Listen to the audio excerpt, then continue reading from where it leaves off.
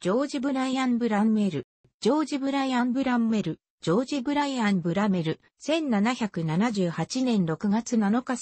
1840年3月30日は、ベアウ・ブラメル、シャレモノ・ブランメルの異名で知られた、摂政時代のイギリスにおけるファッションの権威である。摂政皇太子、後のジョージ4世の友人でもあった。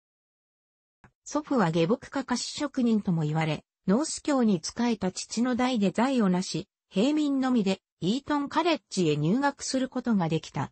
貴公子揃いの同級生の中でも、服装への関心と洗練は抜き出ており、靴の新しい留め金まで発明している。火の打ちどころのない身だしなみと冷ややかで物受けな立ち居振る舞いによって、旧友たちからベアウ・ブラメルのあだ名を申請された。おばの農家で皇太子と出会い、その関心を引く。オックスフォード大学を卒業後、1794年に、この枝移住警役兵隊に入る。イギリス社交界の注目を集め始め、1795年に皇太子の言い名付けである大公女の出迎え役に指名されるという栄誉に預かる。1796年には18歳で大尉に昇進している。1799年にマンチェスターへの転任が命じられると、その無粋な工業都市が気に入らなかったブランメルは、この営隊を辞めて、ロンドンに泊まることを選んだ。チェスターフィールド街4番地に今日構え、骨董品収集や定期的に設けられる宴席で、招待客の簡単を浴びる。ダンディとしての伝説は、この時期の生活で確立された。彼はイギリスだけではなくヨーロッパの流行界に王者として君臨する。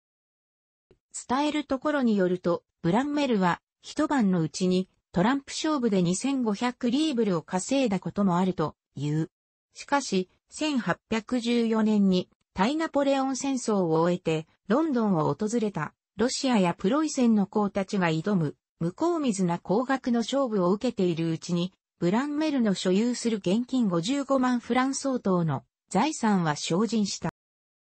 1816年5月16日、借金で首が回らなくなったブランメルはイギリスを逃亡し、フランスのカレー市に移り住んだ。イギリスのヨーク公夫妻をはじめとする崇拝者たちから援助を受けながら生きのた、ブランメルはイギリス社交界の話題の主であり続けた。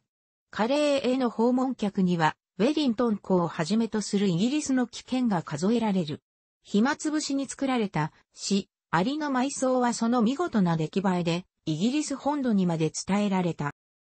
ジョージ4世が退位した時に、フランスのカーン市に新設された領事の職に任命され、1830年10月に着任した。ところが、パーマーストン教への報告書で、カーンの領事職は不要である旨書き送っために、罷免されて、カレーへ戻り、ほどなく、借金のために投獄される。晩年は完全な老衰状態で、養老院で息を引き取ったという。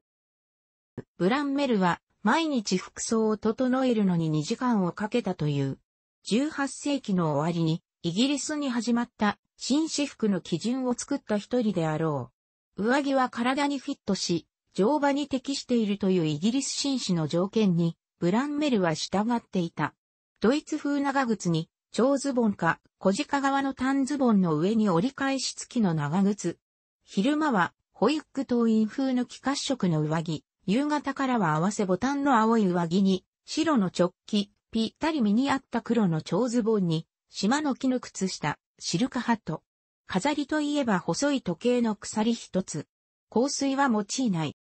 ブランメルを有名にした着付けの技法としては、首布、ネッククロスがある。シャツに大きな襟を取り付け、ネクタイには柔らかく緩んだモスリンの代わりに糊付けした布地を用いた。その白いネクタイは1フィートもの長さがあった。襟を程よい大きさに折り曲げ、下顎で徐々にネクタイを押さえつけて凹ませながら、首の周りに高々と結びつけるやり方は、当時の伊達男たちが競って真似をしようとした。ブランベルのおしゃれは決して派手ではなく、むしろ地味である。彼のよく知られた寸言に街を歩いていて、人からあまりじろじろと見られているときは、君の服装は凝りすぎているのだというのがある。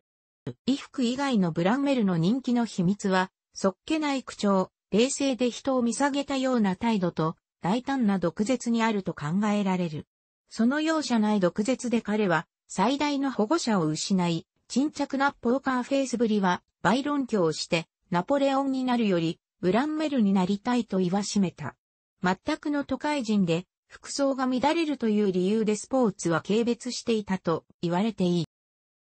ジュール・バルベー・ドールビー、ダンディズム、並びにジョージ・ブランメルについてをはじめとして、バージニア・ウルフ、ジャック・ブーランジェなどの作家がブランメルについていている。日本では、生田工作が、ダンディズム栄光と悲惨、中高文庫で、ブランメルについて詳しい紹介をしている。他に、山田勝著、ブランメル閣下の華麗なダンディ術、英国流ダンディムの美学、展望者など。楽しくご覧になりましたら、購読と良いです。クリックしてください。